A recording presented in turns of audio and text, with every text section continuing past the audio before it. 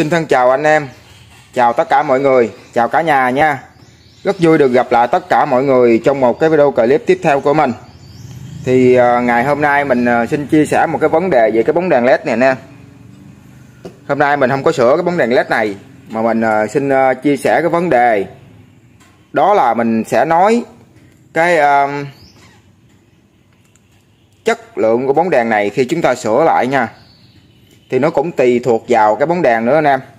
Đây là một cái bóng đèn theo mình là nó cũng ở nằm ở cái dạng là xài được đó anh em. Thì cái bóng đèn này mình đã sửa vào ngày 12 tháng 8 nè anh em.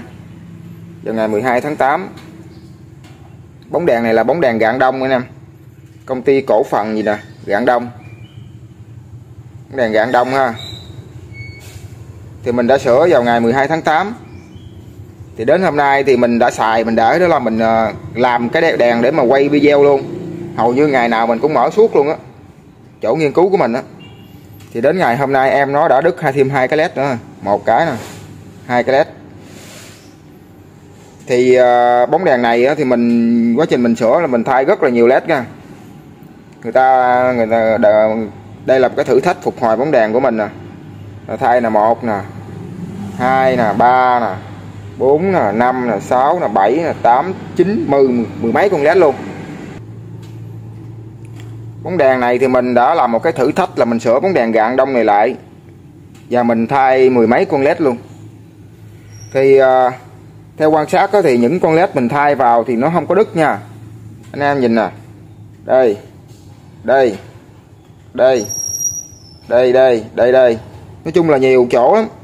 Mình thay vô thì nó không có đứt mà nó lại ờ, đứt những cái bóng led ờ, đèn led khác, những con led khác nè. Đó, thấy chưa? Như vậy là chúng ta sẽ ờ, khẳng định một điều. Thay bóng đèn vô, đây là bóng đèn loại mà nói chung là nó cũng tương đối là tốt đó. Thay vô vào ngày 12 tháng 8 thì đến ngày hôm nay đó là ngày 23 tháng 8 rồi nè. Đó ngày 23 tháng 8 rồi nè. Thì nó cũng khoảng được mười mấy ngày thì nó lại đứt tiếp cái đèn led nữa. Đó là với cái hình thức đó là chúng ta thay con led đó nha. Thay con led đó.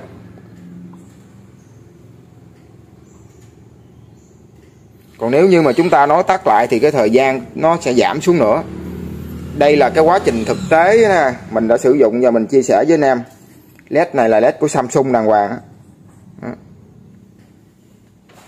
Đây là hai cái bóng mà mà mà nó đã bị ờ, cháy rồi nè nè. Tuy nhiên có những cái bóng đèn á, đây là mình nữa là làm trên một cái bóng đèn này. Tuy nhiên có những cái bóng đèn mà mình ờ, chẳng hạn như bóng đèn mình đang sử dụng ở đây luôn nè. Đây nè, mình sẽ quay cho anh em xem cái bóng đèn mình đang sử dụng là bóng đèn dễ chai mình từng đã từng sửa nè nè. Đây là cái bóng đèn mình để mình quay clip nè. Đó. Hoàn toàn bụi bặm không dây chai không nè, anh em hầu như là mình đều sử dụng là bóng đèn đó là dây chai không à. Nhà mình sử dụng bóng đèn dây chai là nhiều anh em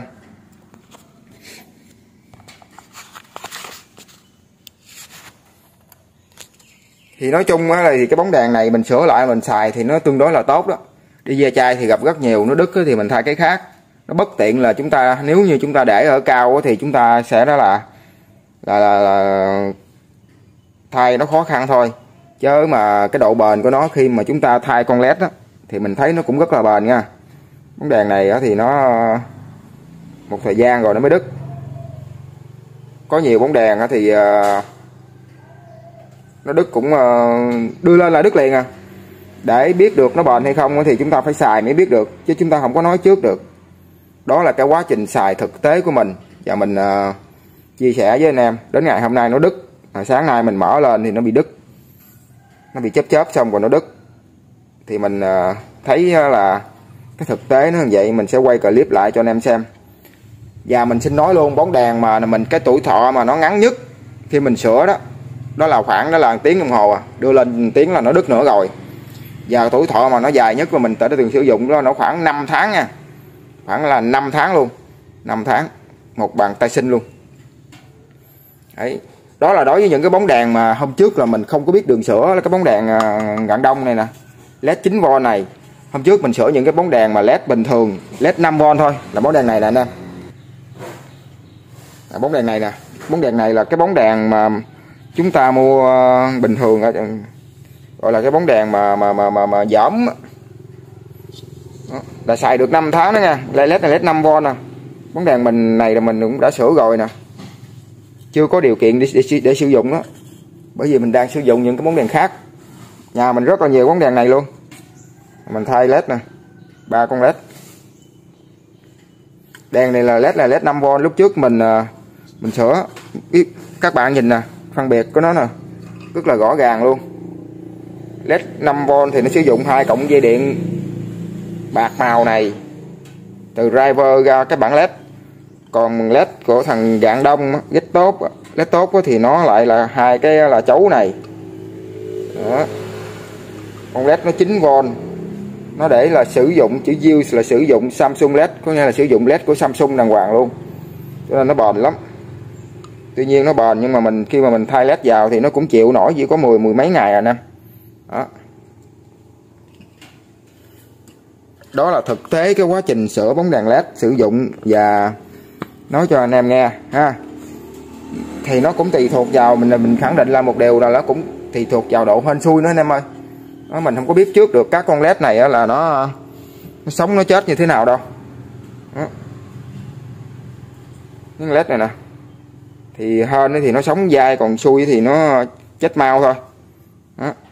thôi thì ngày hôm nay mình có đôi điều để mà tâm sự với anh em như vậy về cái bóng đèn led này. Rồi mình hy vọng rằng những cái điều chia sẻ của mình nó sẽ có ý nghĩa với anh em nha. Rồi, thân chào anh em. Hẹn gặp lại anh em trong một cái video clip tiếp theo của mình. Bye bye.